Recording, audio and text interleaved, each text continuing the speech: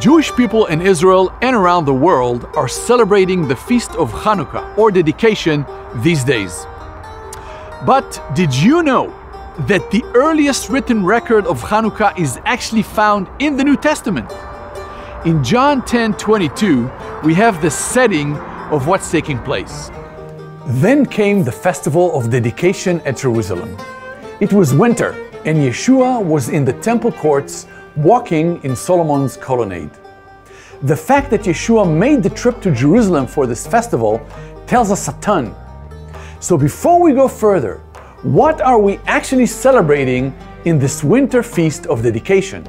Around 200 BCE, Judea was being afflicted by the Greek rulers who were forbidding Torah study and worship at the temple.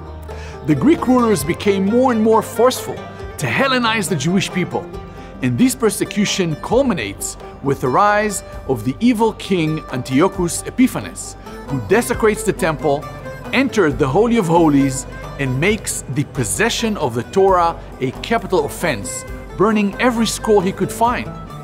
He decreed the Jews were only to worship the Greek idols. But the Maccabees, a family of priests from Modi'in, stir up a revolt, refusing to worship the Greek idol they eventually take Jerusalem back and begin the process of clearing out the pagan altars and reopening the temple of God. As they finish up, their goal was to immediately resume sacrifice and temple worship.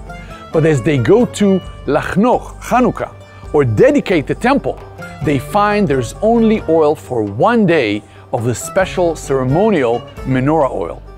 It would take eight days to make the new special lamp oil in according to tradition, with only one day's supply, they light the menorah in faith, and God sustains the flame for eight days until the new oil is made.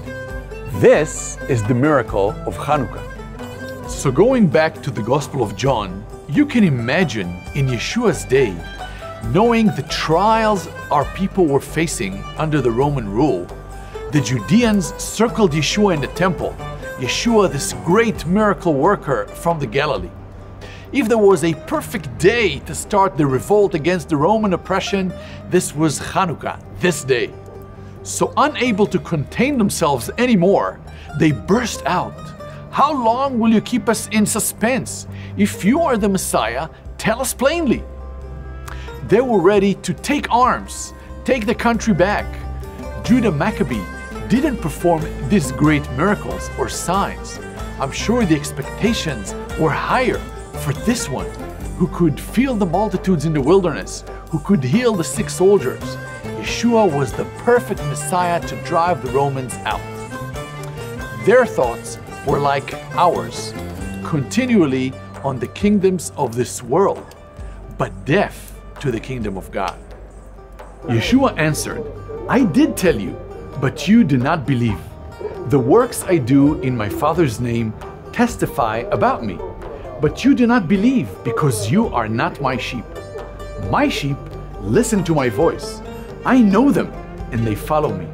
I give them eternal life, and they shall never perish. No one will snatch them out of my hand. My Father, who has given them to me, is greater than all no one can snatch them out of my Father's hand. I and the Father are one. Yeshua turned the focus back again to our eternal state. His coming at this time was to defeat an enemy much more oppressive than the slavery of Rome, more wicked than Antiochus of Greece.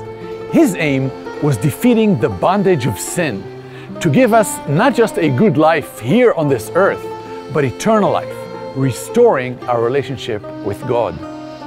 The trials we face today may fill us with worry about our freedoms being eroded by crooked leaders and a world in chaos. But while Rome could take your land, money, and freedom, no one can snatch you out of your Father's hand. Rome faded away, just like every kingdom of this world. But the kingdom of God is advancing today. The gospel has made its way to every nation, and revival had circled the globe and came back to Israel again. Now, today in Israel, we are seeing awakening amongst the Jewish people. This happens today before our very eyes.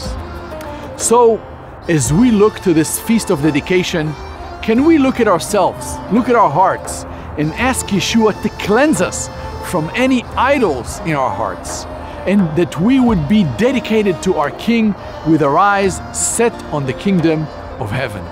Let's remember our King. He is coming back. He returns to this earth as the conquering King to save Israel and defeat the armies of darkness. Unlike the temporary victory of the Maccabees, Yeshua will set up a kingdom that will never be destroyed, that will never, ever end. And so we say, Maranatha, come Yeshua. But today, come and rule and reign in our hearts.